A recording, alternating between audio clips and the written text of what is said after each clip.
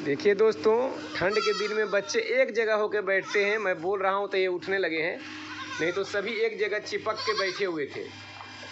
तो ठंड में कुछ ज़्यादा घनत्व में भी रख सकते हैं आप बकरियों को और बच्चों को बस सफ़ाई प्रॉपर वे में होनी चाहिए। देखिए पूरा एरिया साफ़ किया गया है। हालाँकि जानवर है तो पेशाब वगैरह करेगा ही।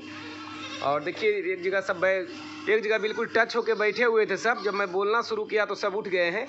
और हालाँकि मुझे इन्हें खड़ा भी करना था, क्योंकि खड़ा करने के बाद एक पेशाब वगैरह करेंगे और पेशाब वगैरह कर लेंगे तो इनको मैं ऊपर, वो जो जाली वाला बना हुआ है, इस पर मैं इनको ऊपर चढ़ा दूँगा। देखिए, उठने के बाद ये पेशाब करना शुरू कर दिए हैं। तो पेशाब वगैरह कर लेंगे तो ऊपर जाली पर जा बुढ़िया मैंने बिछा दिया है तो कुछ कम गीला होगा। हालाँकि उस पर पेशाब करेंगे तो सब पेशाब नीचे आते चला जाएगा। तो इस तरीके से बच्चे को हाइजेनिक रख के आप बचा सकते हैं। जानवर है, थोड़ा गंदगी करेगा ही, लेकिन आप इंसान हैं, आप सुरक्षित, सुरक्षा अपनाएँगे तो सब ठीक हो जाएगा। धन्यवाद दोस्तों।